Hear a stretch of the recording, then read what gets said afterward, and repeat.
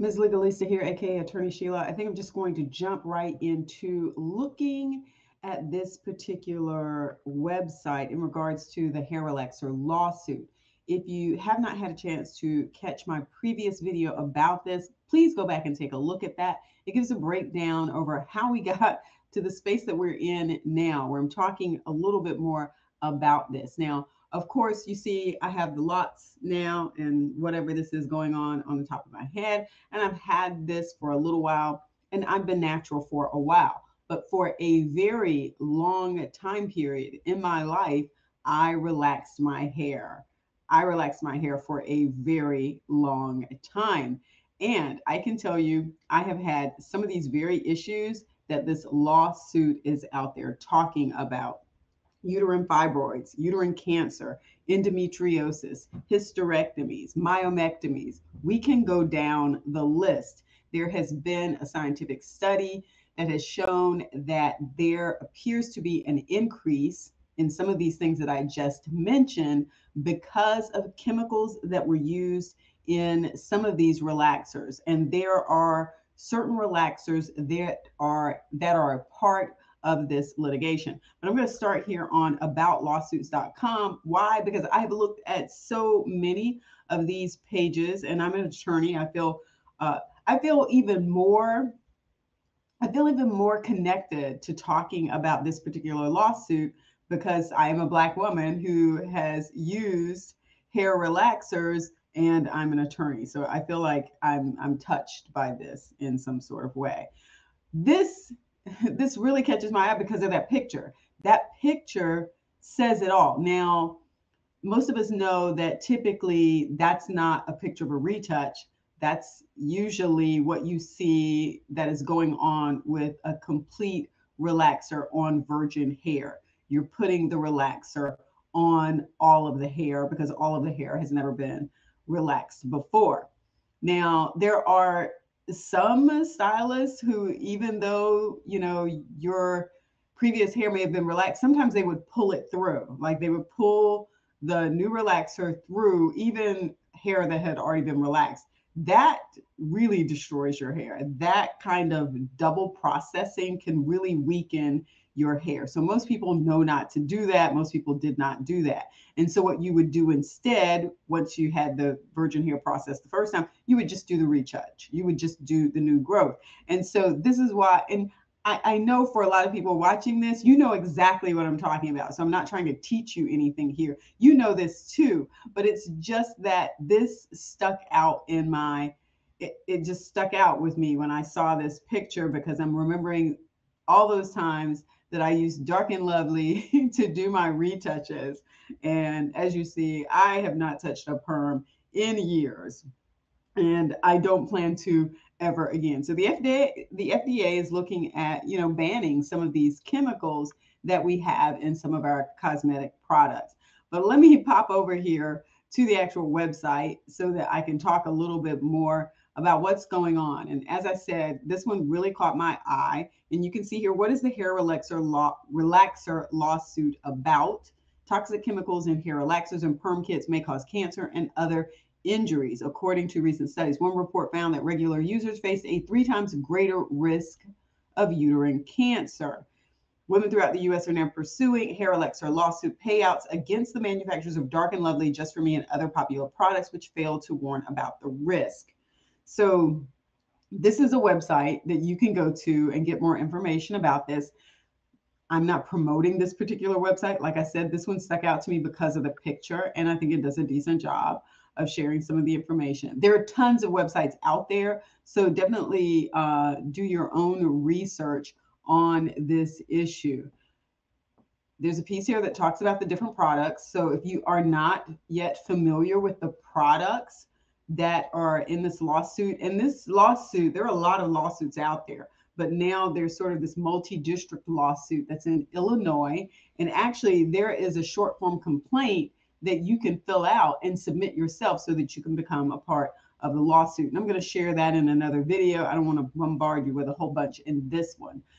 Dark and Lovely, just for me, Optimum Care, African Pride, Soft and Beautiful Motions, TCB Naturals, RS Olive Oil, Dream Kids, and other hair perm relaxers. And then it says what injuries qualify. Well, I pretty much listed those before we even got started. Now, a lot of these sites that you go to will have this find out if you're eligible, and they will have a chat bot and they will ask you things, you know, like when did you first start using a relaxer? When did you stop? If you stopped, what kind of medical issues have you had? How long did you use a relaxer? All of those kinds of things. They will ask you that, and then they'll determine, hey, whether or not they're interested in you or not, you know.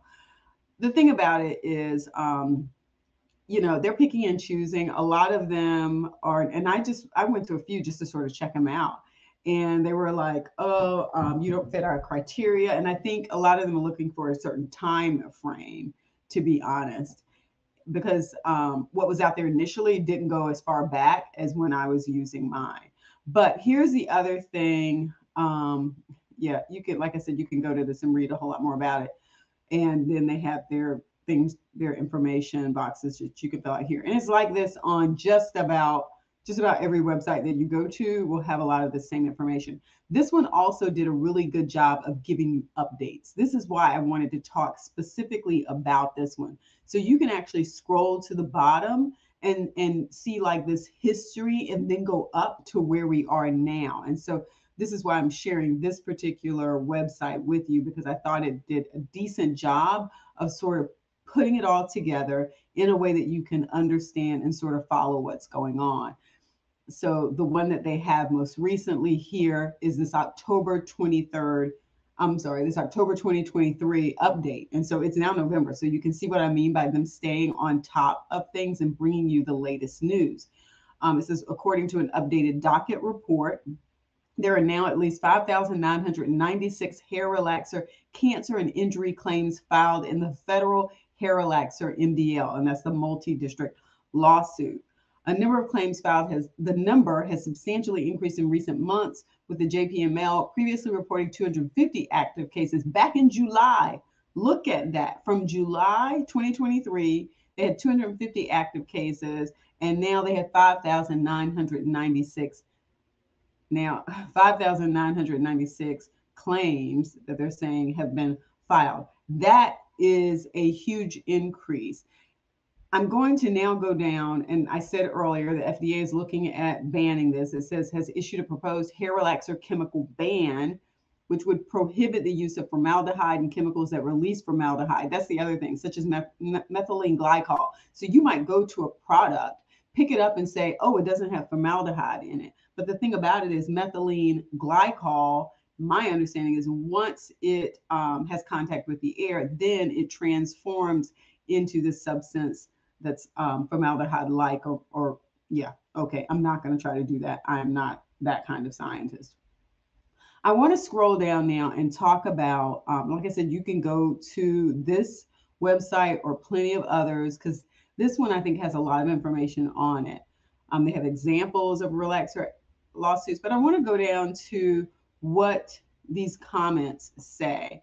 And part of the reason I want to actually go to these comments is because it is one thing to read a lawsuit that talks about, hey, uh, you know, there was misrepresentation on the part of the manufacturer because the manufacturer knew, you know, after a while, the manufacturer knew that these chemicals were in their products and that they were dangerous. Okay, so they already knew the chemicals were in the products, but at some point in time, they knew they were dangerous, and yet they were still sort of promoting these products as, hey, look, you can be, you know, gorgeous and beautiful and have great hair and take care of yourself. You know, they're selling you something when they failed to warn you that what they were selling you was defective and had a problem with it. And so, you know, let's hear it. So it's one thing to hear that type of information, all of that in the litigation when I'm reading some of this. It's entirely different to hear from Black women, because these are Black women's products mostly that we're talking about, to hear from Black women about the experiences that they had. Like that's what's really being left out of the conversation at this point. So I really want to take a look at this part of this website because people have commented. And you'll see here, if I can click back on it, you'll see here there are 42 comments. And I want to just share some of what women were saying here. This person says, and look, this is, you know, this is the most latest one is at the top. So this is this month. Endometriosis and cyst removal surgical procedure in 1998 and D&C procedure in 2016, now suffering from fibroids. With what kind of medical issues did you have? Here's the thing that hasn't been talked about a lot. What happens if you don't have medical insurance and you've got these medical issues? You've had them in the past and maybe you incurred expenses, or you have them now and you don't have health insurance. What are you supposed to do? This person says, I have endometriosis, cancer, bad periods, irregular periods, been trying to have a child for two years now and still haven't gotten pregnant. This is a nightmare. Again, a different a different kind of issue related to this whole thing. The you know, the difficulty in getting pregnant because of some of these other issues. I was diagnosed I was diagnosed with endometriosis. I have painful periods. I have had surgery a year ago and now using Mirena IUD to see if that will take the pain away. If this doesn't work, I'll be having surgery again. I have used a lot of hair relaxers. Okay. So this person has already had surgery once and now this person is looking at having surgery twice, a second time. I uh, would not have thought about that one.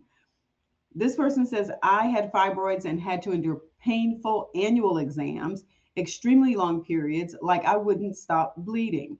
It's amazing to find that my problem was linked to something we used to aid us in employment to support our family because we had to look a certain way to be employed. All right, I am going to stop and talk about that one for a second because that was something that was brought up in the complaint when it was filed. There was this whole history about how black women were you know made to feel like they could not wear their hair in its natural state and that it needed to be straightened or pressed so that it would present a more acceptable look if you're trying to start a career and get a job and have employment. You need to have a job so that you can pay your bills and and be part of the family financial support unit and if part of what is holding you back is you walking around with an afro, even a short afro, or hair that's that's not net that's you know not straightened, then you know there was this sort of feeling in the community that you would have a harder time getting employment. So there was this feeling that you had to do this. Now, there are plenty of times when we do things to our hair that we don't have to do. Dyeing is one of those things. We don't necessarily have to dye our hair, to, to get a job. I don't think people are necessarily feeling that until they get older and there's some gray. And then they feel like, you know, I'm being discriminated against because I've got more gray hair. And people can see that I'm older and I'm not getting as many job offers once I go in there, even though I have the experience and the skills and the training and the education. So there's that part of that. But aside from that, you know, it, it, it just, I don't even know what to say. Let's just go back and see what the next person says the push uh, to look a certain way so that you can get a job. This person says, I used hair relaxers just for me, olive oil, had hysterectomy from fibroids, developed dark lumps on side of hair and scalp. This person says, I had surgery and used several hair relaxers. I lost a lot of hair. I had a cyst removed from one of my breasts and had cysts and tumors in my uterus, causing me to have a partial hysterectomy with the extractions of both fallopian tubes and an ovary. I had menstrual cycles that lasted three to five weeks. The menses would the menses would cease for a couple of days and start back because of the heavy blood clotting and flow. Every day I wore newborn baby pampers for sanitary pads. At this time, I still have cysts in my uterus. My navel was also surgically removed during the surgeries. I had D&Cs done also to try and stop the bleeding this is a lot. Um, three to five weeks is a long time because what can happen is that kind of blood loss can lead you to be very anemic to the point that you might even need a blood transfusion. Then there's this um, other piece too. You know, how are you? How are you even living? What does your quality of life look like if you're having to ha- take care of blood flow that's three to five weeks long? Like, what are you able to do? What are you, where are you even able to go? Um, and how does that, how does that impact just your daily living? Uh, this person says, let's see, I was going through testing. I was diagnosed with uterine cancer, crying and hard to believe. Um, loser hair. My sister, I guess losing hair. My sister asked if I was losing hair, was too afraid to tell her yes. I've been very depressed over this. This was earlier this year. I will be getting more testing in two weeks. Been praying all as well. I have two sons to take care of, disabled. I don't know how I'm going to break this down to them, waiting until Texas is done. Um, I don't know if she meant taxes or Texas. I'm not sure. Um, okay, so yeah, here. So here's another thing to talk about. Um, over time, when you use relaxers, one thing that people start to notice is their hair starts to thin. It's weaker. It is more likely to break because you are actually breaking the bonds of the hair down. So you are damaging the hair, and you have to really take care of it after that point. So you have this weakened hair, increased hair loss. And then one of the other things too, how many people remember getting scalp burns? How many times did, you know, you have a scalp burn on your scalp because of the chemicals and the processing in the perm that burned your scalp? So I haven't seen this one a whole lot yet, but I'm sure there are plenty of women out there who can attest to that one. All right, this person says, been relaxing for about 20 years, had to get a hysterectomy at the time, was using dark and lovely Revlon, L'Oreal, and TCB devastating results upon using these chemicals. Um, let's see, this person says, My hair was first treated at age 11 with TCB and later on switched to Dark and Lovely Motions and ORS. I was diagnosed with fibroids January 2019. The pain and heavy flow was so unbearable. During my cycle, it was hard to walk because I have several fibroids. However, there are several options of surgery. I decided to undergo robotic myomectomy to remove the largest tumor that was pressing against my uterus instead of undergoing a regular myomectomy because I still like to have kids. Currently taking iron supplements due to low iron and heavy bleeding. Currently still experiencing heavy flow because I have fibroids. Another issue. You guys, I can tell you all about these issues because I know personally. I can tell you about all of them.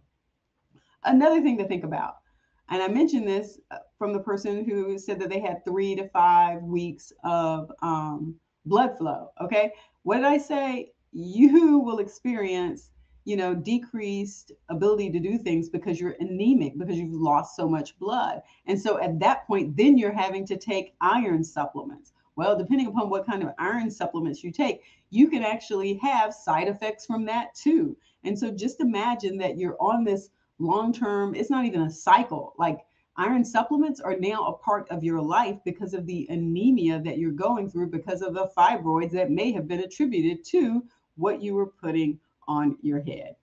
Okay, this is all of the allegations. So, again, another issue here iron supplements. And I bring this up to sort of say, um, there are all of these different things. And, and here, here are my concerns, and maybe I'll come back on camera with this one.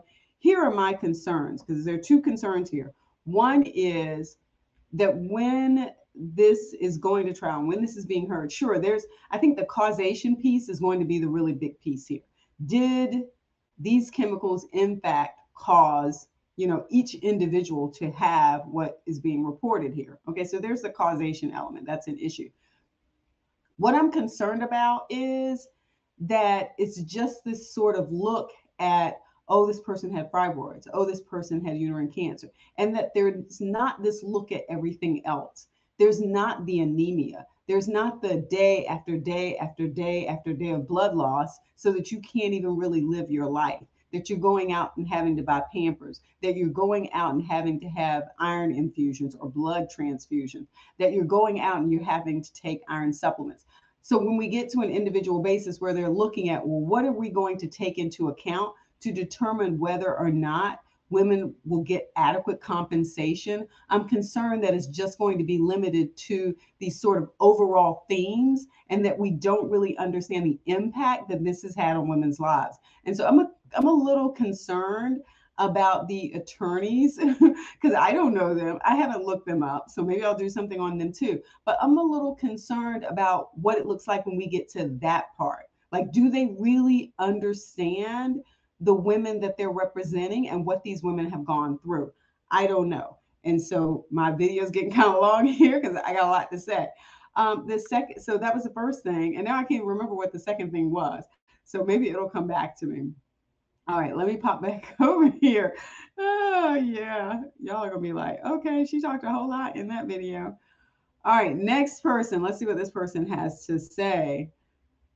I'm a Caucasian female. Okay, so now we get a different experience here because remember, I told you in the initial complaint, it was broken down in terms of the history around Black women and their hair and employment and how they felt pressured to look a certain way. Okay, so that was a that was a lot that was presented a lot in this uh, litigation in the complaint.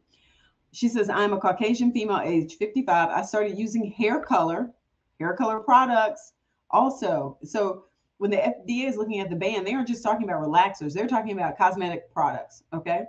Eh, so that includes hair dye. I'm a Caucasian female, age 55. I started using hair color at age 14, and on occasion, since my hair is naturally curly, have used such products to chemically straighten my hair up until around the age of 21. Had no idea of the hazards or damage that it would cause. At age 26, I was diagnosed with fibroids, uterine, uterine tumors, and underwent a partial hysterectomy, removing my uterus and partial ovaries. Was never placed on any kind of hormone therapy. Digressed. Um, depression has been a part of my life for the last 29 years. Thank God my daughter was born just three years before my diagnosis. Um, you know, it it almost came back to me and then it went away again. All right. So this is the first time we're hearing about um, hair color, and now we're crossing the racial barrier here. We now have it being not just black women, because we know a lot of this was definitely marketed toward black women, but curly hair women, curly haired women, okay? Women who felt the need to want to straighten out some of those curls. All right. So they were also, they also fall into this group. All right, let me um, go on to the next page here. All right. Um, I had relaxers about every two to three months since I was a child. At the age of 38, I had to have a hysterectomy due to a, two large fibroid tumors. I have no kids. Two. I don't even want to tell you how many I had. It was way more than two. Cynthia says, Thank you. I've been getting my hair relaxed since I was 12. I'm now 38. I'm starting having I start I first started having heavy periods around 18 with blood clots and heavy bleeding. I was diagnosed with endometriosis in 2016 and I suffer from fibroids and cysts. Had laparoscopy done in 2016, but doctor couldn't remove all of fibroids and endo. My life has been miserable for the last couple of years due to the agonizing pain the endo causes, endometriosis, and also not being able to have children. I wish I had known then that using hair relaxers would be detrimental to my health, but something needs to be done because these companies can't get can't get away with this. Okay. So here is exactly this is exactly what they say in the lawsuit that people would not have used these products if you had told them here is what can happen to you. Now, granted, we make these choices all the time. Okay. Look at the number of people who still drink and drive, even though you tell them not to drink and drive because here's what can happen. Okay. So, yes, but what you want is informed, informed consent. Like I want to consent to buy the product because and use the product because I have the information and you have not withheld it and you have not misrepresented it. Like this person says here, I wish I would have known then that using hair relaxers would be detrimental to my health. Okay. This person says I started using relaxers when I was 12 years old. Through the years, I've used Dark and Lovely, Cream of Nature, um, ORS olive oil, motions, African pride, and other relaxers. In 1994, I had to have a partial hysterectomy after suffering pain and heavy menstrual cycles from uterine fibroids. About five or six years ago, I decided to go natural. After years of putting relaxers in my hair every six weeks, this went on for about 48 years. 48 years. 48 years. So here's another concern. My concern is you're going to miss the older group of people um, some of those people may have already passed. Um, their family members may not know the information in order to submit a claim on behalf of their estate. They may not be in a position to even know about this or respond to this. And so I feel like there's there's a group now because a lot of younger people are, are natural, they're natural hair people. So those people are going to be less concerned and informed about it because they're they're natural hair. Then you've got this group that's being targeted because they're in the midst of knowing what's going on, and maybe they just stopped um, using perms a little while ago. Like they're in this certain this certain period of years here, and then you have this group. This is the group that I think is going to get left out down here, even where I, I think I'm in this group that to some extent they only want to go back X number of years. Yeah. Oh well. This person says, I got my first relaxer on my 12th birthday. I stopped using them in my mid 20s because I kept having bad reactions. My last reaction actually caused my hair to fall apart. In 2019, I had a partial hysterectomy due to fibroids the day after my birthday. How ironic is that? I have used Dark and Lovely Emotions for years. I started having heavy periods with blood clots going through pads in 20 minute intervals. After sitting, then standing, the blood would run like a faucet. It was determined that I had large uterine fibroids. Surgery was scheduled. I had to go through 10 days of iron infusion prior to the surgery because the blood loss my iron was very low. Surgeons attempted to remove the fibroids, but had to stop because it was determined there was a large cluster unforeseen. I had to go through another surgery. I had to undergo a full hysterectomy. You know what? I, have to, I, you know, need to do my own video um, talking about this. You know, I had to have iron infusions. Um, and even when I had my daughter, there was a fibroid that was in the way. Like she was breached. She couldn't even move because of the size and number of fibroids. So that's a whole nother video. let's uh let's go down to the next person.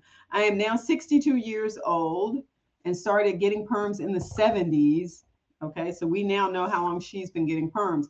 I have used Dark and Lovely Cream of Nature Optimum and Just for Me for years. I started having heavy menses and passing blood clots. I was diagnosed with a fibroid tumor the size of a grapefruit.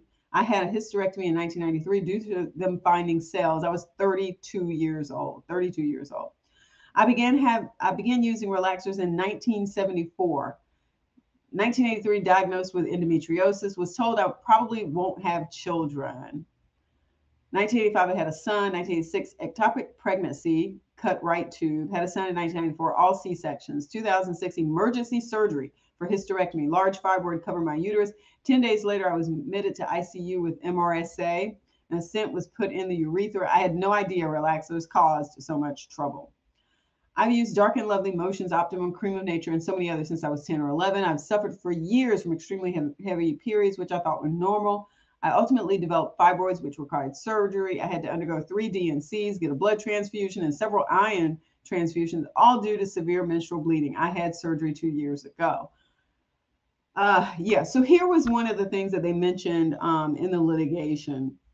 This sort of piece around um, why this should all be like one lawsuit, this one multi-district lawsuit. And the reasoning was because they were because women have a tendency to use different brands over time. So, so if you've, for example, if you've been perming your hair, relaxing your hair for 30 years, in some instances, it's likely that women will change up.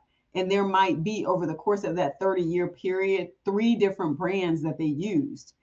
And one of the things they talked about around this litigation was how do you dissect that out and say which one is responsible if you know if a person used three different brands and and say all three different brands had this the ingredients in them that have been linked to causing cancer it would be very hard to do. So that's why that's another reason why they said we're going to lump all of these together. We're going to to um, look at this across the districts and across the manufacturers across well not well not necessarily manufacturers but the the companies responsible for this. So you see a lot of people saying, I used this brand and this brand and this brand. I'm almost tired. This is, uh, yeah, this is a lot. I have used Dark and Lovely for over 35 years. I'm suffering from heavy menses, and I believe it has led me to developing uterine fibroids and myomectomy. I have fibroid that has developed since my surgery and infertility issues. All right, let's go to page three, five pages of this. I am 62 now. My mother first permed my hair in 1972, and I continued until 1998. So that's 26 years. And what remember the example I just gave talked about 30 years, right? I began to bleed, and finally, after almost a year, was I was passing clots. It was horrible when I was finally diagnosed with fibroid tumors, and they said hysterectomy was the only way to stop the bleeding. At 29, they took my uh, uterine something, which oh okay, through a hysterectomy, I guess, and prevented me from having any more children. Don't know how or where they came from. I've been getting relaxer since childhood until 2016. Had a hysterectomy in 2011 due to a large fibroid tumor. I was 38 with no kids. Um, so, you know, so for people who don't understand what these blood clots are that they're talking about, they can be huge. They can, they, this may sound really gross to some people. Um, they can look fleshy like, it can look kind of fleshy like, and usually bright, bright red because it's covered in blood and very chunky. So just think of chunks of fleshy material that's bright red that is coming out of somebody. Okay. You have to see it to understand. I've been getting relaxers since childhood. Okay, already said that one. I'm 48 years old. had my first relaxer when I was about six years old. Wow, that's really young. That's really young. It was it was a just for me perm. Okay, so now that's understandable. So a lot of times, um, the perception, okay, was that you could use a kiddie perm. You could use a kiddie perm, um, and that the kiddie perms were a little bit safer because they weren't as strong. And so you even had some adults who would use kiddie perms in an effort to um, lessen the amount of damage, or maybe they felt like their texture didn't need a whole lot, it just needed a little something. And so there was this perception that a kiddie perm, since it was made for kids, was somehow going to be a little bit more okay. And people also thought, well, hey, you know, I want my daughter to look good going to school again. So the pressure to look a certain way didn't just extend to the Black woman going into the career or work environment. It also extended to the Black little girls and them going to school. Okay, so understand that this was really um, there was this feeling here, and, and those of you who watch this later can tell me if I'm way wrong on this or way right, but you wanted your kids to look good. You wanted those ponytails, you know, and you were using whatever grease you were using um, and putting those cute little barrettes on the end and making those cute ponytails or the plaits. And you wanted everything to look nice and neat when you sent your little girl off to school. So, I had a daughter. We do braids a lot. I did I, I did plaits a lot. I was a plaits kind of person. I was like, we're just gonna do plaits and we're gonna keep it going. Uh, let's see. a lot, a lot, a lot. Let's see. I, I I think I went through that part or did I not? I'm 48 years old. I had my first reaction when I was about six. It was a just for me perm. After that, I continued to use different perms and relaxers. I was diagnosed with fibroids in 2017 and also in 2017. Within the same couple of days, I had a hysterectomy. They took everything except for my, I think she is ovaries. I think there is some, um, what do I want to say? Some autocorrect going on. People are typing in and autocorrect is is incorrectly correcting what they're typing um, except for my ovaries. I'm so sad because I wake up sweating. I wake up hot one minute, I'm cold. I got to open a window. I got to turn the heat on. This is a very miserable thing that I'm going through due to trying to stay beautiful and not be my natural self. Okay. Okay. I'm just going to let that one sit there. I used relaxers from 1985 to 2013, stopped due to hair loss. I had a hysterectomy in 2012 due to a fibroid. So I talked to, I've been talking about the side issues, right? The side issues, the health insurance, the number of times you, you know, you're out of work for this, the things you got to buy, the iron infusion transfer. Okay, so let's talk about what you got to do once the hair loss starts. You know, then you have women buying wigs, right? Because there is this pressure, there's this pressure to look a certain way. And part of looking a certain way means that you have to have a, a head full, a head full of healthy looking hair. And if you have now lost your hair, then you feel like you have lost a part of your feminine beauty. And I'm not saying all women feel this way. I'm saying that some women feel this way. And that hair and looking a certain way and having certain attributes is what increases or decreases or impacts a person's self esteem. And so now you have used this product, it has weakened your hair, it is attributed to hair loss.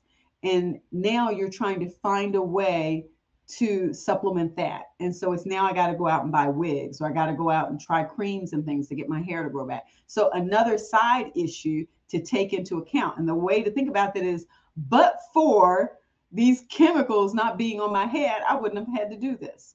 Okay. All right, this person says, I was diagnosed with endometriosis after going through so many painful periods from my teens until I had to undergo surgery, complete hysterectomy, and appendix removal due to an abscess that my physician said was as big and hard as a softball in September 1986 at age 29. At that time, I had two laparoscopies and had been on Danocrine to stop my menstruation twice and had been hospitalized seven times. I never thought that using Dark and Lovely, also other relaxers, could cause these problems. My edges also have remained thin. Mm-hmm. I was on Premarin 17 years until taken off due to my cancer link. My mother died one year, one month after my surgery of metastatic breast cancer and Provera 10 years. Okay, so then that's the other piece, right? What kind of medications am I taking to get things back to where I think they need to be, right? Am I having to take estrogen? Yes, all right. I'm currently waiting on a surgery date to have the hysterectomy, 35 and no kids. I had to have a hysterectomy because of fibroids. Been using these perms since I was about nine or 10. Like, this is it. This, you know, when the judge gets ready to make a decision, this is really what the judge, somebody should be up there reading this to the judge. Like, we should be doing a nationwide letter writing campaign. Every single person who feels like they have been impacted by this. I have seen, I have done in some of my other videos I've done in one in particular, um, Elizabeth Holmes, when she was being sentenced, she um, had people write letters to the judge, you know, um, to be lenient with her her sentencing. And I went through a lot of those letters, you know, and part part of the consideration on the prosecution side was the damage that had been done to people who had been harmed by her actions. But her letters, of course, were from family members and friends who talked about, you know, how she had tried to do good and those sorts of things. Okay. So when we talk about letter writing campaigns, like I said before, this is what I'm concerned is going to get pushed to the wayside the actual impact that this has had on women's lives. I think women's lives are generally undervalued. The trauma that they go through is undervalued. The feelings that they have are undervalued. And I feel like I have a concern, let's put it that way, that the outcome from this litigation is just going to be the same thing. It is going to, going to be an undervaluing of women's health and their bodies. All right, I guess I'm on a soapbox on this one. Next one, I had my first relaxer at the age of 15. I've been relaxing for 20 years. I've suffered with cysts and fibroids starting at the age of 20, all the way into my 30s with fibroids, endometriosis, and eventually breast cancer at the age of 37.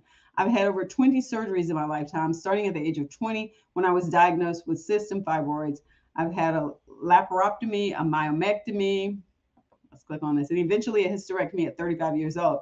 If I'd only known that these products would have resulted in my health issues, I would have never used them. Right.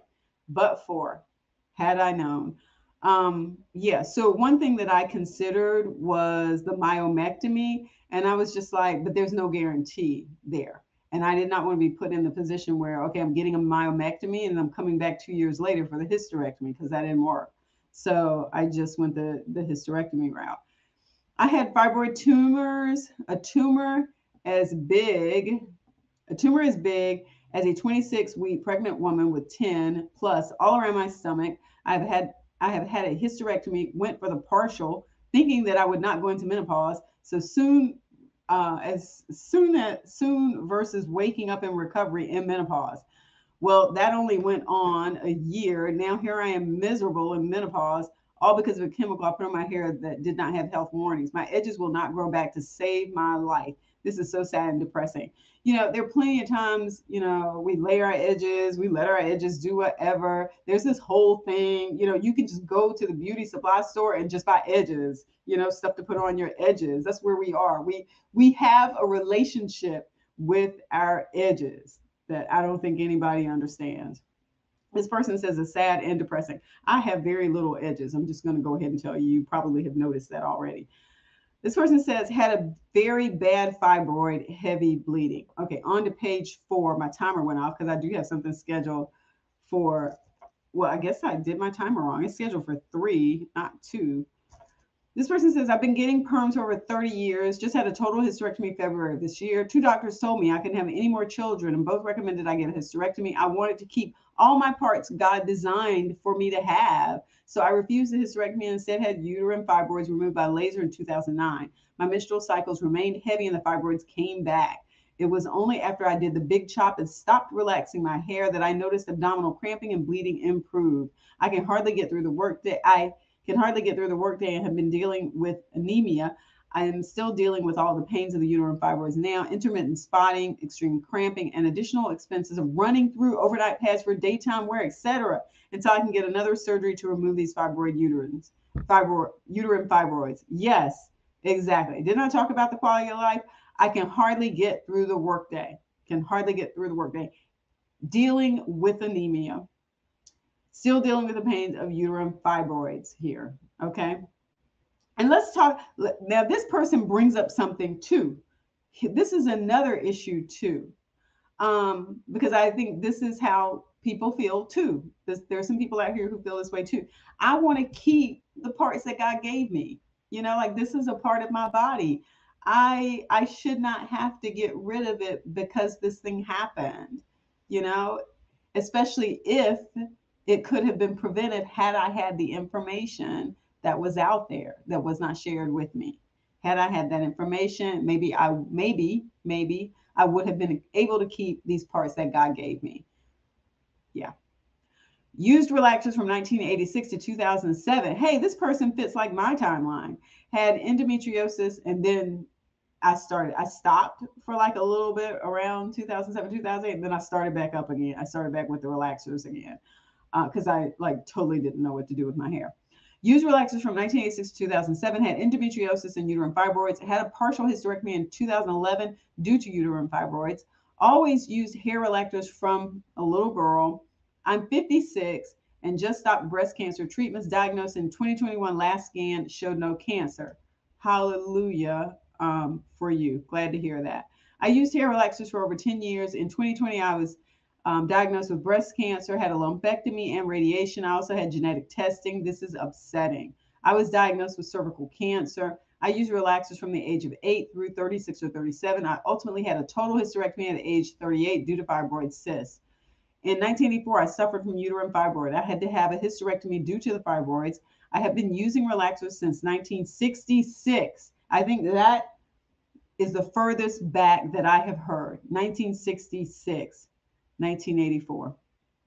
Um, in 1995, I had to stop using relaxers. Okay, so we're talking almost 30 years if there was no break in between that because she said I've been using since 1996 and, ni- and since 1966 and 1995 I had to stop. Okay, and why did she stop? Due to bad hair loss. Okay, I still to this day experience hair loss. Can someone help me? Can someone help me? And I I know plenty of people who have experienced hair loss and it really does impact your self-confidence sometimes for some people. Wow, I've been using Dark and Lovely for over 30 years and putting it on my daughter's hair, also thinking nothing of it at all. I know it is straightening our hair, but in 2007, I had breast cancer. I had to have them removed. Um, I asked my doctor at the time if it was from smoking. He said no, didn't really know. He was asking me, did I take hormone pills? Never. I replied, I would hate to think that a product I'd love to use did this to me. I've been using Dark and Lovely since the 90s. This can't be true. Yep, I used to Dark and Lovely too. That was my brand of choice. It, I mean, it did my hair great. I was pregnant and had to go to the hospital because I was spotting, found out that my baby was not growing due to a fibroid tumor. I lost the baby and also had to have a hysterectomy due to the fibroid was so big they had to remove my uterus. And then here's the last one. I was diagnosed with breast cancer in March 2019, got a lumpectomy and a genetic test, and it came back negative. A year later, at the end of my 2020, at the end of 2020, my cancer came back and had to end up getting my right breast removed. I've used relaxers all my life. If this was a contributor, I want just, I think this person's trying to say, I want justice. The emotional and physical state I'm in is priceless. But if I can stop another woman from buying relaxers and obtaining cancer, then that's what I will do. And this last person said, I had surgery. Um, so that is a lot. if you made it through um, this whole, if you made it through five uh, pages of that, that was a, lot. I've been talking this, uh, this is like 45 minutes now. Actually, I think I'm going to do this as a pre-recorded live. That way I can um, sit in on the comments if there are any comments and just run it that way and maybe do it later on today. But um, this is a lot. And like I said before, I wish I really could think of the other thing in my head that I had going on that I wanted to share. But like I said before, I'm really concerned um, that after the causation piece is there, and let me backtrack for a second because this causation piece is big. Like you, you can't just say, yes, some studies have shown that there's a, a, a triple increase if you use this products that you will have these things happen to you that doesn't necessarily mean that for every single person who had these things happen to them that it was caused by this product. So you see the issue that we're running into. The causation piece is big here. If we lose on the causation piece then you know we lose everything okay? So if you lose on the causation piece you lose everything. I just want you to keep that in mind. So that's that's a big part of this the second thing is, and this is what I keep talking about, this sort of undervaluation of women and what they have gone through here. And I'm afraid, I'm so afraid that this is going to come down to a numbers kind of thing. And it's, well, if you got cancer, then you get this amount, you know, and let's let's assume we go a settlement route here. Okay. If you got cancer, then you get you get this amount. If you have fibroids, then you get this amount if you had hair loss and viral, you know, that there's that there's sort of going to be this tiering effect and it's going to be so basic that it does not completely take into account all of these issues that people have shared in this. And so I think, you know, to some extent, and I'm, I'm probably being a little bit more um, proactive in terms of what I'm saying. And I don't usually approach litigation like this when I'm talking about and reading through some of the filings because this is a little bit more personal for me. And so obviously it's coming through um, as I'm sharing the comments here and talking about this particular litigation. But I'm concerned that if women do not step up and take ownership of this, and that if this is left to the legal system, that you will not get the recovery that you should receive. You you will not get what justice should look like. And and I want to talk about. I, I just want to give you a quick example here of the Camp Lejeune water case where you had decades of time where the government knew that this contamination had occurred and that people at Camp Lejeune, not just not just those who were enlisted, okay, and who were in service, but family members and workers too who may have been exposed to toxins. And yet it has taken decades. We are just getting to the point where those people are now going to be entitled to some sort of recovery decades later. And so if you think that the government, you would think that the government would look out for their own, especially would look out for the military. So if you think that um, someone is going to stand up for you, my comment to you, and I said this in other videos, nobody will value you like you. the only person who is probably going to value you greater than you might be your your parents, your mom and your dad. But other than that, nobody's going to look out for your interests better than you are. And so even though you have attorneys in place here, I suspect and, and I'm concerned that, you know, unless you give them the information, they can only have what they have. They can only work with what they work with. And if people are not forwarding them the information that they need to make the case that needs to be made, then, you know, you could run into some major issues here. And then the final thing is, you know, in these settlements, most of the time, who gets most of the money? It's the attorneys. Okay. It's the attorneys. We know that. Okay. They've got expenses, and kudos to them for taking some of these cases on. Because if they don't take them on, then it doesn't go anywhere.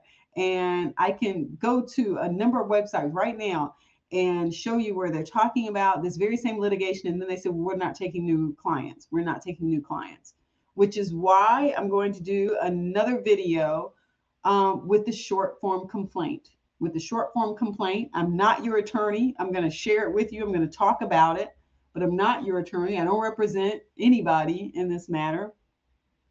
And so we're going to talk about and figure out how we go forward with this sort of complaint. This is probably one of the longest videos I have done. I usually break videos up, but I wanted to, to take some time and go through and talk about some of the other side issues. Want to hear directly from people who could be plaintiffs in this and other hair relaxer cases that are out there because there are tons of them that are out there now. Um, but I wanted to give us a chance to hear directly how people's lives have been impacted by the use of this product. And now you have a better understanding. When people talk about products liability, this is the kind of stuff they're talking about. They're talking about harms that have happened to people as a result of them using a product where maybe the manufacturer or the seller or distributor or whoever may have known that there were issues with the product and did not share that, failed to warn, were negligent, and other people got harmed. All right, so that's it. So hopefully um, this provides you with some information, some understanding. Go ahead and give the video a thumbs up. Uh, you know, if it was too much, uh, that's that's on you. If you stuck around and you thought it was too much, give the video a thumbs up.